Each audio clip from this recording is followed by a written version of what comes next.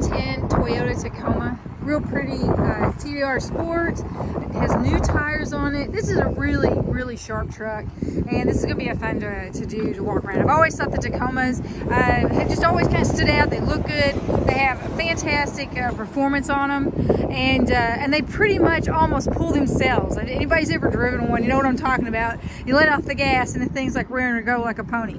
So uh, anyway, so tires, like said, they're new, no issues there. Uh, rims are beautiful on it. Uh, really clean around the front, right? Lenses are wonderful. No nicks or damages up here. Um, really nice and clean along here. A little bit of, there's a little bug spot right there. Um, that's probably where somebody's actually just driven it. Um,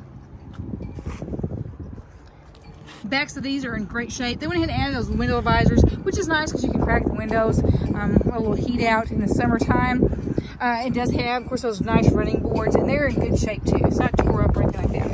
Uh, the plastic little trim right here has got some buildup. Just that's kind of normal for these guys. Let's get this zoomed out so you can see what I'm talking about. Um, and you can you actually have this removed and put a new one if you want. Um, it's not the actual detriment of the vehicle, it's just where dirt's got underneath the plastic edge. Uh, and inside of here, this is in good shape. It's not torp or anything. Could use a washing in there. Uh, all these stickers are wonderful. There's no issues.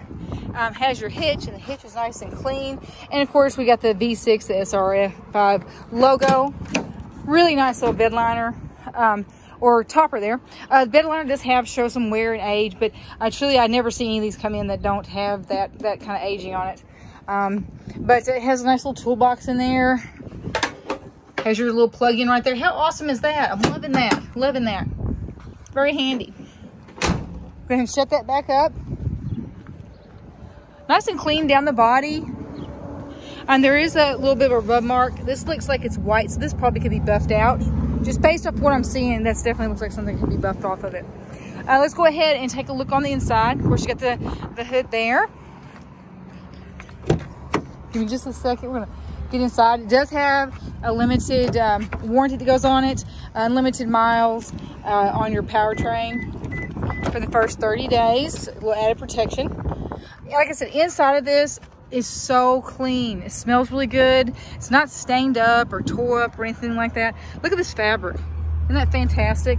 Um, floor has a little bit of a, like a, I don't know, spot on it, but the most of it, when I looked at, let's see, very nice and clean, okay? That's like I said, 2010, so we do expect to see something, all right? Uh, this is not scratched up. Go ahead and get up here in the front. This is where I've actually been stepping on it. It's not scratched up, it's just my foot. Uh, once again, these seats are beautiful. Look, I just cannot believe in what great condition these are. And then this is for that uh, outlet there in the back. You can turn that on and off. And then, you know, of course, they have this built in that they added in.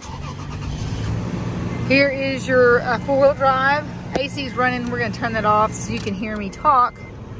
Okay, I'm gonna shut this for just the time being.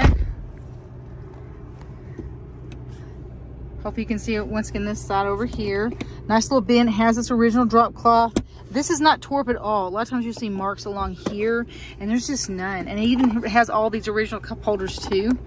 Um, up here, we've got XM radio. You have your, you can go and do your own because it's got the MP3 that's as well. Uh, we got Bluetooth and your cruise.